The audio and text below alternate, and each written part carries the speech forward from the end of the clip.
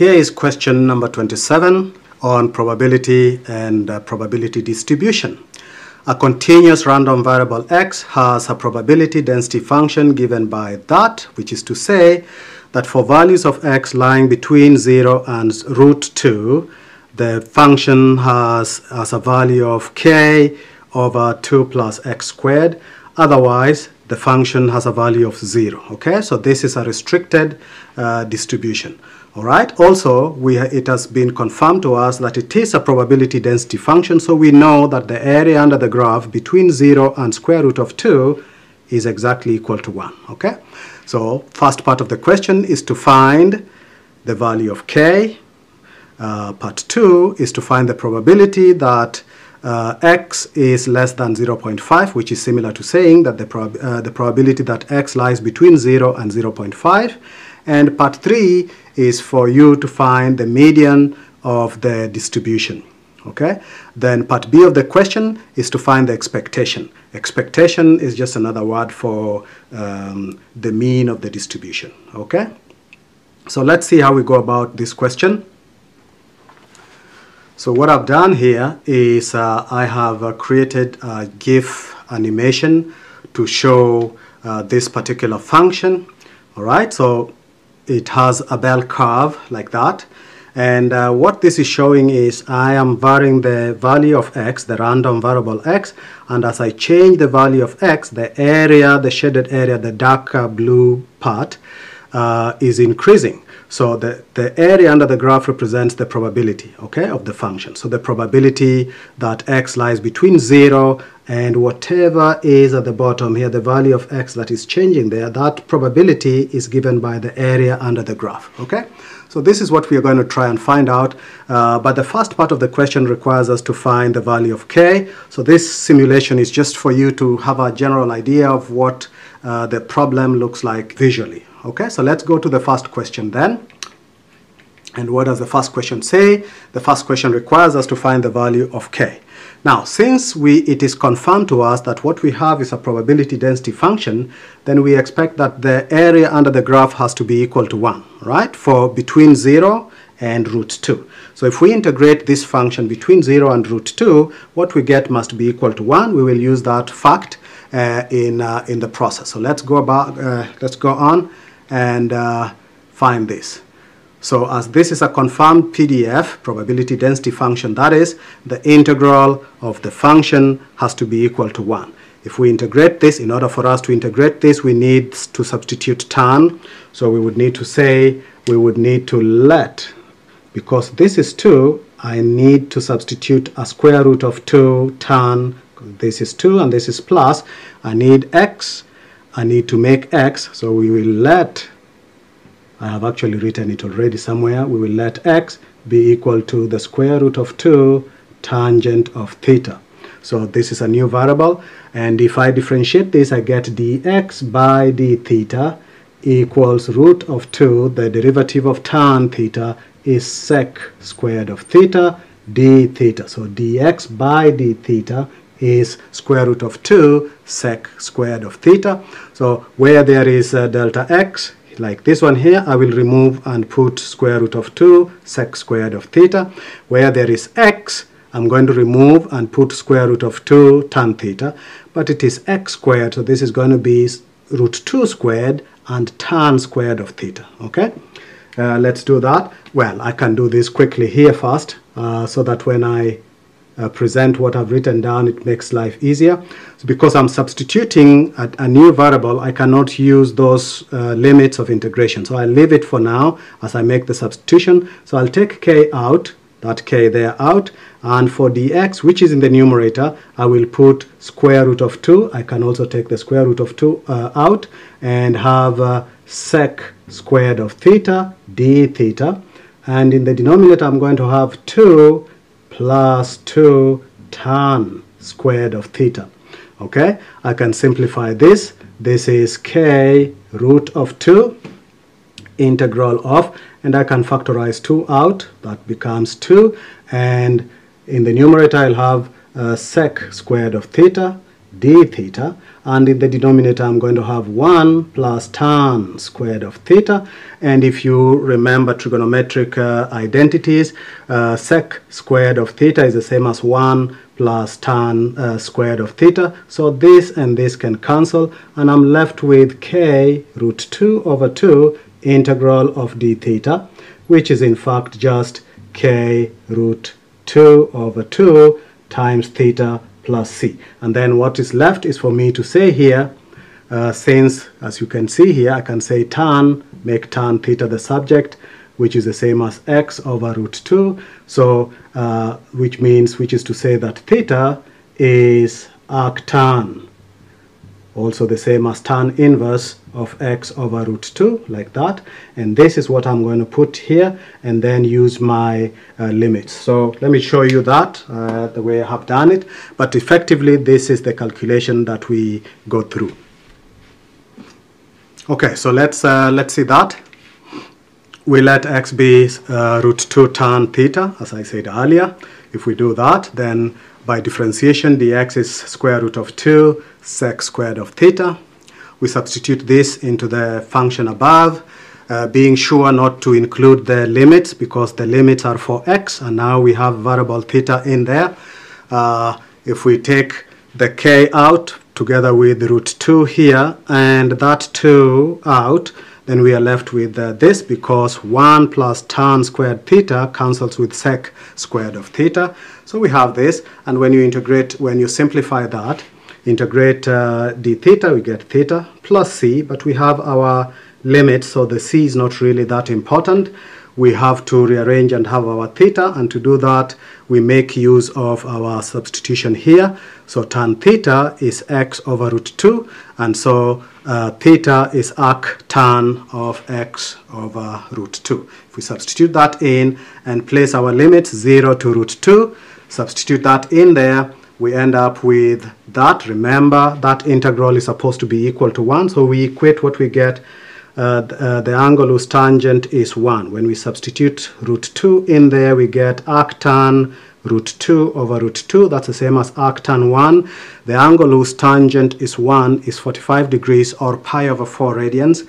And so we have pi over 4. Substitute 0, we get 0, so we ignore the 0 there. If you rearrange to make k the subject of the formula, okay, that's all we have to do now. Well, then k is 8 over pi root 2. We can get rid of the uh, rational, irrational root 2 in the denominator by multiplying up and down uh, numerator and denominator by root 2 and that gives me k as 4 over root 2 uh, 4 times root 2 over pi so that's the value of k, and that's the answer to the first part of the question. Okay. Uh, the second part of the question wants us to find the probability uh, that x is less than or equal to 0.5. That means what's the pro probability that x lies between 0 and 0.5? Now that we know the value of k, uh, the probability that x lies between 0 and 0.5 is the integral from 0 to 0.5 of our function together with the constant that we already found, okay? So we have a constant there whose value we already know. All right, we just found it. So we will put that there and then just integrate this. You can use your calculator directly if this is paper one in the uh, IB diploma analysis and approaches. Uh, otherwise, if you are an AI student, uh, you have a calculator for paper one and for paper two, so you just substitute this in there directly.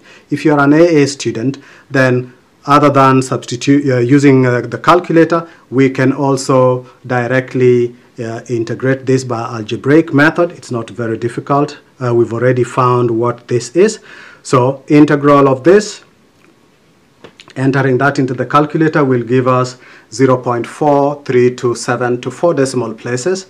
Okay, uh, but we can also use, uh, so that's how this is to say that um, for value of x lying between 0 and 0.5. So the value of x here is 0.5. The integral or the area under the graph there is going to be 0.4327. Okay? Uh, the alternative is, of course, to integrate directly. Uh, part 3 is to find the median of the distribution. Uh, by definition, the median of a distribution is the value of x along that axis on the graph, let me just go back slightly. So given this graph, there is a certain value of x along here for which the area under the graph, this area is going to be 0.5. Okay, so there is a value of x here that splits this total area into two so that the area on this side is a half and the area on the uh, right hand side is also half. That value of x is the median of the distribution. So our task is to find the median of the distribution. Okay, so by definition, let me just write that down.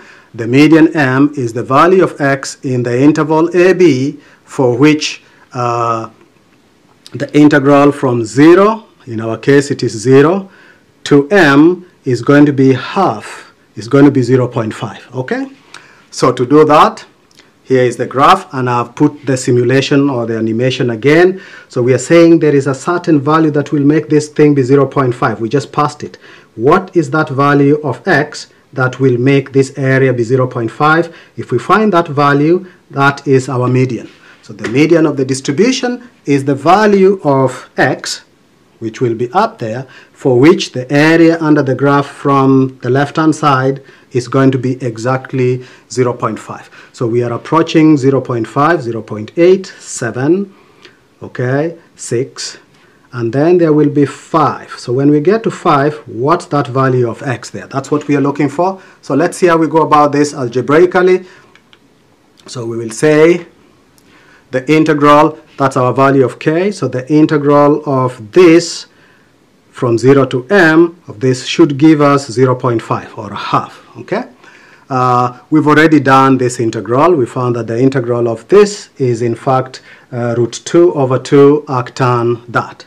So we just need to substitute this in here. So to replace this with this integral, we just did it in I think uh, part uh, 1, all right? So if we substitute that there, that's the yellow part here, is that bit there. So if we substitute that, and then all we have to do is to make m the subject of the formula. If we rearrange that, then arctan m over root 2 uh, equals, of, of course, root 2 times root 2 is 2, which will cancel with the 2 at the bottom. So we have only 4 and pi there. So pi goes up there and 4 goes down. So we have pi over 8. So arctan m over root 2 is pi over 8 if we make uh, m the subject of the formula, we do that by, uh, by taking tan of both sides. So if we take the tangent of both sides, that means a function and its inverse, we are left with m over root 2. So m over root 2 is going to be tan pi over 8, and so m is going to be uh, root 2 times tan pi over 8, like that. All right, and if you enter that into your calculator, you will get that the value of the median is 0.586 and this is to three significant figures. I think I did that with that uh, system okay and it turns out to be 0.5858 and I think it's supposed to be uh, it continues I think the next term the next uh, uh, decimal number there is a, a, 7 so in fact it should be 5 8 uh, 587 okay like that either way this is the value of x for which the area under the graph is 0.5 and that makes it the median of the distribution. I hope you were able to understand this. Uh, if you have any other question related to it, uh, let me know and we can go through it uh, again together. Uh, you can leave a comment in the comment section and I will be able to follow up on it. All right? Uh, is there another part to this? Yes, there is part B is to find the expectation of the distribution. The expectation of the distribution is in fact the mean of the distribution. And by definition we already showed that the mean of the distribution is x is the integral of x uh, f of x right? Like this.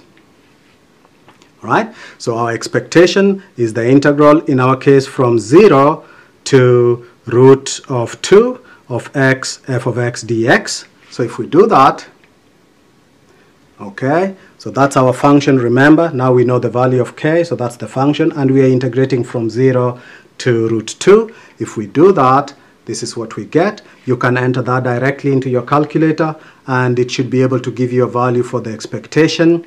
Uh, ignore that first. So if we enter this directly onto the calculator, we get the expectation or the mean to be 0.6241 and that is to four decimal places. So GDC, that means I'm using a graphical display calculator.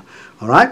On the other hand, if you didn't have this at your disposal, paper one for uh, uh, diploma students, AA, then you have to go via uh, uh, algebraic method. In this case, because the denominator is the uh, uh, the numerator is the derivative of the denominator, we don't need to use tangent substitution, trig substitution. We can simply make the denominator, we let the denominator be u. So we use, we make use of uh, u substitution. So let u be 2 plus x squared. That means the denominator there. Okay, if we do that, then by differentiation, du becomes 2x dx, like that. And so I can make dx here, x dx, be equal to du over 2, like that, okay? And that means where there is x dx, here, there is an x dx here. So where there is an x dx there, I will remove that and put du over 2 and the denominator is just going to be u okay? Hope you get that.